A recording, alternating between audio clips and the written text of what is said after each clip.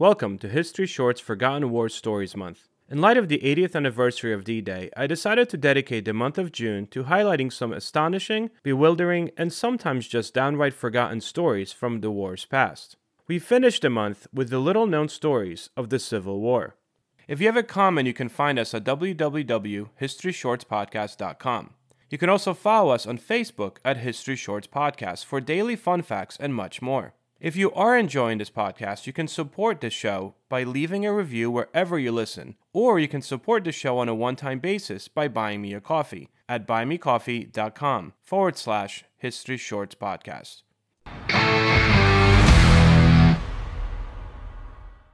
Following the secession of Southern states after the election of Abraham Lincoln into office in 1860, the American people were not quite ready for the carnage that was soon to follow.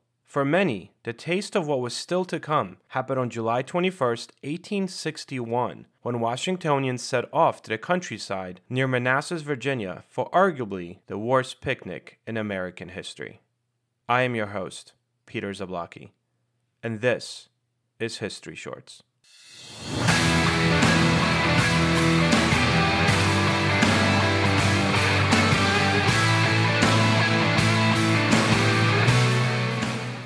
Civil War began after the secession of Southern states and the attack on Fort Sumter in April 1861, with both the Union and Confederacy eager to assert dominance early on. The Union, under the leadership of President Abraham Lincoln and his military advisors, aimed for a quick, decisive victory to crush the rebellion.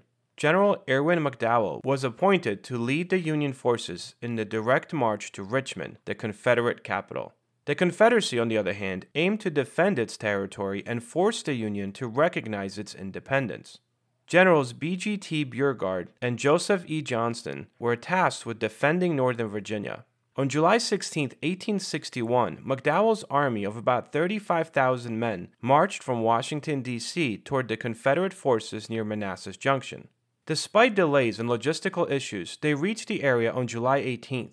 Beauregard's force of about 22,000 men was positioned along Bull Run, with additional reinforcements under Johnston arriving from the Shenandoah Valley near the Manassas Gap Railroad.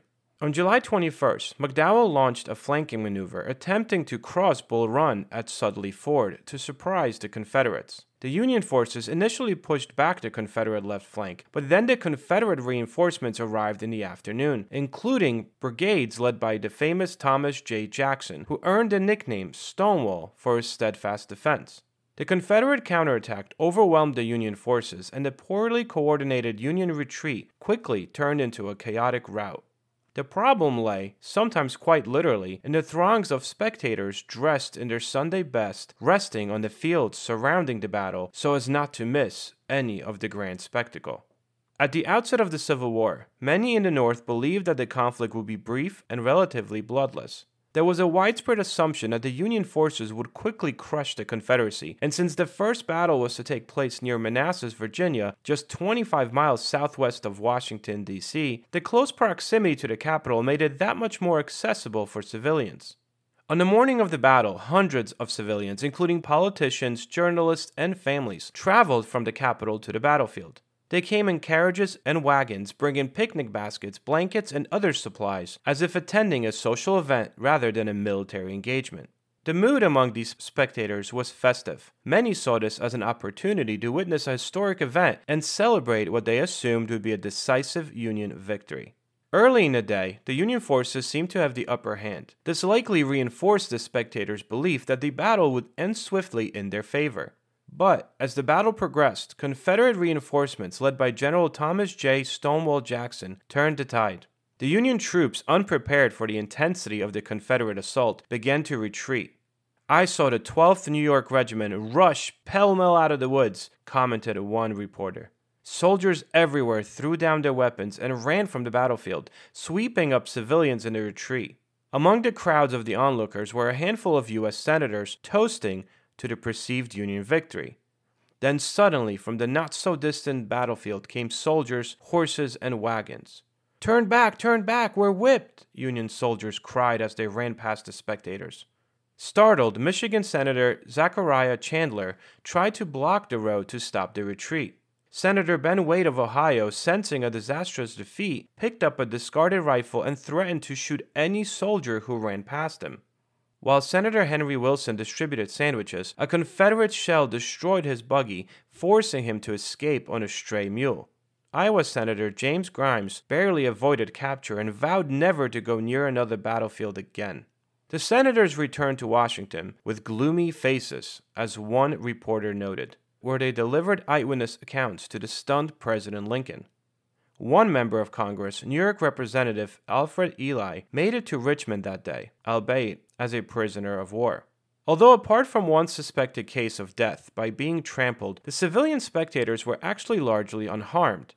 Still, the experience shattered any remaining illusions about the war being a short and bloodless conflict. When the dust settled, the Union suffered around 2,896 casualties, while the Confederates had approximately 1,982 casualties. Leading newspapers like the New York Times, Harper's Weekly, and the New York Herald sent correspondents to cover the battle, and their detailed articles and illustrations brought the stark realities of war to a broader audience. Harper's Weekly, a popular illustrated newspaper of the time, published dramatic engravings depicting the battle and its subsequent retreat. One of the most famous illustrations showed panicked civilians and soldiers fleeing in disarray, often referred to as the Great Skedaddle. The embarrassment of the whole situation was hard to avoid. Renowned illustrator Thomas Nast, known for his vivid drawings, also contributed to the public's perception of the battle. His work portraying the Great Skedaddle did a great job showing the confusion and terror experienced by soldiers and civilians alike. The immediate portrayal of the battle's events, particularly the sight of civilians fleeing in panic, starkly contrasted with the earlier romanticized view of the war. The defeat galvanized public opinion in the North, leading to a surge in enlistment and support for a more vigorous persecution of war. In the Confederacy, reports of the victory at Bull Run were a source of immense pride and morale. The Southern press highlighted the success as evidence of the Confederacy's military prowess and the righteousness of their cause. On August 28, 1862, and one year after the Battle of Bull Run, or the Battle of Manassas, as it came to be known in the South, the Confederate Army once more met their Union counterpart in the very same spot. And much like what happened the first time around in Virginia, the South, this time under the command of General Robert E. Lee, secured another decisive victory over the North, commanded by Major General John Pope.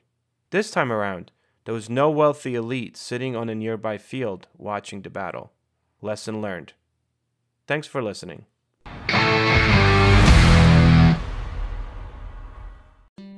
Hello, everyone. My name is Tom Kearns, and I host the Anglo Saxon England podcast, where I cover the history and culture of England from the departure of the Romans in the 5th century to the Norman conquest in 1066. So far, we've surveyed the collapse of Roman rule in Britain, the migration of the Anglo Saxons, and the history of Northumbria from its beginnings in the mists of legend to its destruction at the hands of Viking raiders in the 9th century. I hope you'll come and give it a go.